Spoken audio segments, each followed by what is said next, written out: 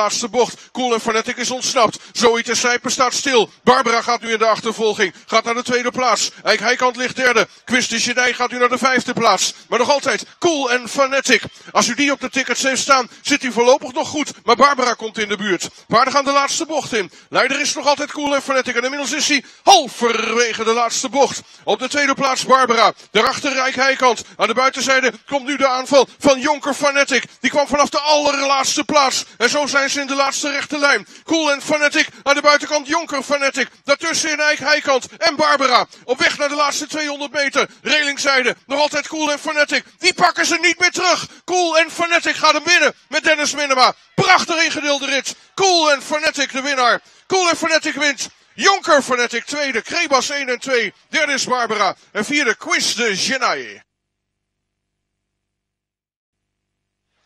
En wat een succes, dames en heren, voor de stal van Bas Krebas. Hij uh, traint de winnaar en hij rijdt de tweede aankomen. De rijder van de winnaar was Dennis Minema. Colin Fanatic, gefokt in Duitsland, bezit van Himia BV. En nogmaals de winnende tijd 1.31 rond in deze slijtageslag. Mooi sierreken, beschikbaar gesteld door Café Het Ziel. En die wordt nu omgehangen. We beginnen aan de huldiging. Uiteraard een mooie klok voor Dennis Minema en ook voor de eigenaar Himia BV. Felicitaties namens het bestuur hier in Jouren. Sierdeken gaat om bij Cool en Fanatic.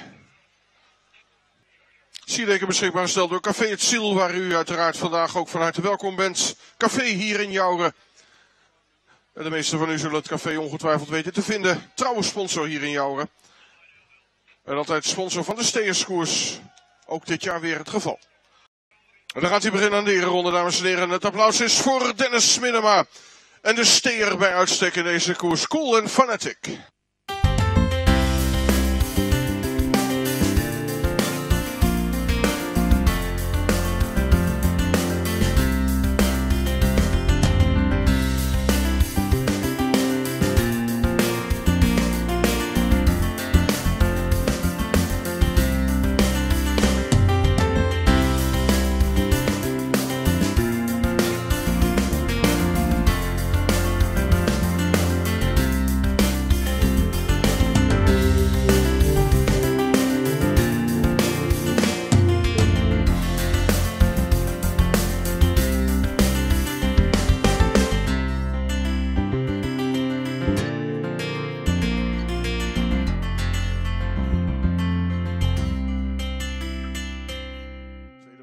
Aan de late kant.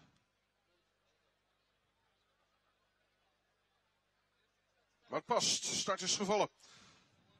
Start valt. Mispasjes van Anthony Soprano. Maar die loopt wel gelijk weer. En de leiding wordt genomen door uh, Denise Pennekamp met Axel Cartouche. Axel Cartouche gaat als eerste de bocht in. De tweede plaats daarachter ligt Rick Wester met Zoe Tersijpen. Wordt nu aan de buitenkant voorbij gelopen door Dennis Minnema met Cool en Fanatic. En die gaat zometeen de leidende positie uh, overnemen. Is al op weg naar voren. Favoriet ligt op dit moment aan de start van het veld. En zo komen de paarden de rechte lijn voor de tribune. Als ze de finish passeren, nog vier volledige ronden te gaan. Leiding is inmiddels overgenomen door Cool en Fanatic. Cool Fanatic leidt op de tweede plaats erachter Axel Cartouche. Derde ligt Zoe ter Sijpen. Vierde plaats voor Anthony Soprano. Vijfde ligt Barbara. Zesde aan de buitenkant is uh, Automatic Frisia. Zevende Zoon van Minnen. Achtste is Eik Heikant. Dan een gaatje. Negende Quiz de Genij. Tiende plaats is voor Kito Beno. En de elfde en laatste plaats voor de negen. Jonker Fanatic. Ze gaan de paarden de rechterbocht door. Leiding wordt gemaakt door Cool Fanatic.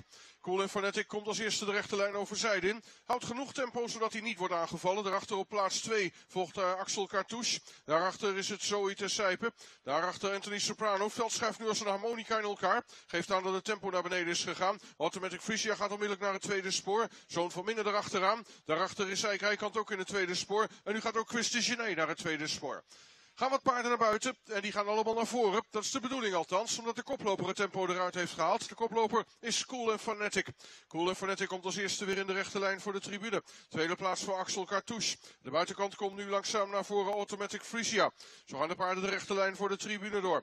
Leiding dus nog altijd voor Cool en Fanatic. Dan Axel Cartouche, dan zoiets ter Sijpen. Eerste paard aan de buitenkant Automatic Frisia. Bij de relingzijde daarnaast Anthony Soprano. Daarachter aan de relingzijde Barbara. We hebben nog drie ronden te gaan. Drie ronden ronde. En zo gaan we de volgende ronde in. Aan de leiding Cool en Fanatic. Axel Cartouche, ooit de Sijpen komt van de reling af. Daarachteraan gaat in het tweede spoor Automatic Frisia. Daarachter Anthony Soprano, daar zit Barbara achter vast. Aan de buitenkant wordt Barbara nu ingehaald door Zoon van Minnen. Straks ook door Eik Heikant en straks ook door de Genij. En ook aan de relingzijde zit vast Kito Benno. Zo zijn de paarden weer in de rechte lijn overzijde. Nog altijd heeft Dennis Minnen maar niemand naast zich gehad. Vindt hij niet onprettig waarschijnlijk. Cool en Fanatic leidt nog altijd. Aan de buitenzijde komt wel ietsje dichterbij. Zoe te Sijpen. Daarachter aan de relingzijde Axel Cartouche. Veld is nu uh, helemaal in elkaar geschoven. 2 en 2 gaan ze de volgende bocht in. En de favoriet ligt op dit moment op een voorlaatste positie. Paarden ronden die bocht. Komen zometeen weer in de rechte lijn voor de tribune. Passeren daar de bochtencommissaris. Dat is in dit geval de heer Tel. En zo komen ze in die rechte lijn met Cool en Fanatic aan de leiding. Cool en Fanatic aan de buitenzijde Zoe Sijpen. Daarachter aan de relingzijde Axel Cartouche. Daarachter volgt Automatic Frisia. Helemaal geen beweging in het veld. Er gebeurt helemaal niks. Het lijkt wel een beetje op marathonschaatsen. Die laatste rondjes, die zijn pas echt leuk. We hebben nog twee ronden te gaan. Twee volledige ronden. En de leiding van Cool en Fanatic. Dan Zoe Sijpen. Het gaat in een wandeltempo. Daarachter op plaats 3 is het Axel Cartouche. Automatic Frisia laat een gaatje vallen. Dat doet Anthony Soprano ook. Dus gaat er een tweede peloton ontstaan. En daar zitten precies de favorieten in. Die zullen straks toch echt actie gaan ondernemen. Maar dat doen ze nog steeds niet. En zo gaan de paarden de rechte lijn overzijde weer in. De voorste drie zijn dus wat weggelopen. Leiden nog altijd dezelfde. Cool en Fanatic. Daarachter Zoe Sijpen. Dan Axel Cartouche. Als dat de 1, 2, 3 wordt, heeft niemand het geraden. Maar zo gaat het waarschijnlijk niet gebeuren. Want we hebben nog anderhalve ronde te gaan. Paarden gaan de linkerbocht weer in.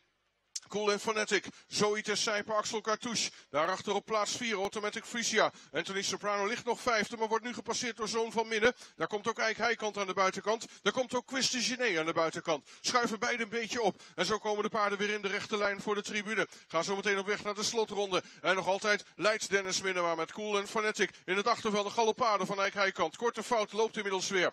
Eik Heikant was bezig aan een klein opmarsje. En dat kan hij nu gaan doorzetten in het buitenste spoor, want daar is hij blijven liggen. Zo gaan we de laatste ronde in. De laatste ronde met aan de leiding Cool en Fanatic. Cool en Fanatic op de tweede plek aan de buitenkant. Uh, komt zo langzamerhand naar voren. Eik Heikant. Hij ligt nu nog derde. Hij is op weg naar de tweede plaats. Ook Quist de Genij gaat nu drie dik naar voren.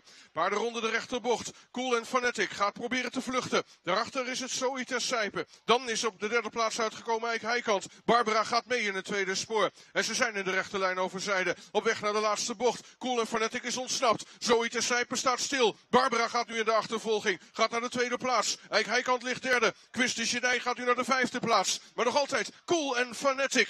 Als u die op de tickets heeft staan, zit hij voorlopig nog goed. Maar Barbara komt in de buurt. Paarden gaan de laatste bocht in. Leider is nog altijd cool en fanatic. En inmiddels is hij halverwege de laatste bocht. Op de tweede plaats Barbara. Daarachter Rijk Heikant. Aan de buitenzijde komt nu de aanval van Jonker Fanatic. Die kwam vanaf de allerlaatste plaats. En zo zijn ze in de laatste rechte lijn. Cool en fanatic. Aan de buitenkant Jonker Fanatic. Daartussen in Eik Heikant en Barbara. Op weg naar de laatste 200 meter. Relingzijde. Nog altijd Cool en Fanatic. Die pakken ze niet meer terug. Cool en Fanatic gaat hem winnen met Dennis Minema. Prachtig ingedeelde rit. Cool en Fanatic de winnaar. Cool en Fanatic wint. Jonker Fanatic tweede. Krebas 1 en 2. Derde is Barbara. En vierde Quiz de Genai.